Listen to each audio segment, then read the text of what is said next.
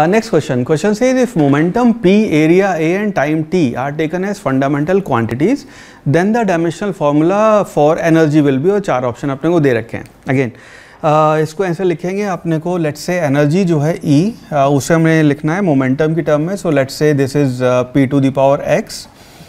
multiplied by area to the power Y और आपका time T जो है time T let's to the power Z ये आपकी एनर्जी है। नाउ डायमेंशनल एनालिसिस से हमें पता है लेफ़्ट हैंड साइड और राइट हैंड साइड की आपकी डायमेंशन सेम होनी चाहिए। सो so, एनर्जी की जो डायमेंशन लिखेंगे left hand side we can write M L T M L square T minus two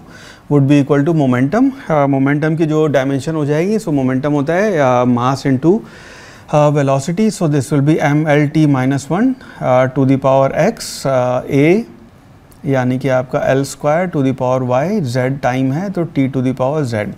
so left hand side right hand side की dimension बराबर होनी चाहिए। So M to the power one L to the power two T to the power minus two will be equal to M to the power X L की power हो गई यहाँ पे X plus two Y और T की power हो गई minus X plus Z now इनको इक्वेट कर देंगे तो इसको और इसको जब इक्वेट करेंगे so which implies X equal to one और पहले टाइम वाला इक्वेट कर देते हैं, इसको इसको इक्वेट करेंगे सो आपका minus two would be equal to minus X plus Z now minus X की वैल्यू आपकी वन आ गई so this will be equal to minus one इधर ला के प्लस वन हो जाएगा which implies Z is also equal to minus one इन दोनों को इक्वेट करेंगे सो so ये आ जाएगा आपका third part two will be equal to X plus two Y which implies X की वैल्यू ऑलरेडी वन आ गई है. इधर जाके ये आपका बन जाएगा माइनस वन हो जाएगा सो आपकी which implies Y is equal to one by two आ गया। तो यानी कि आपकी जो एनर्जी है, वो हो जाएगी P to the power X यानी कि P to the power one A to the power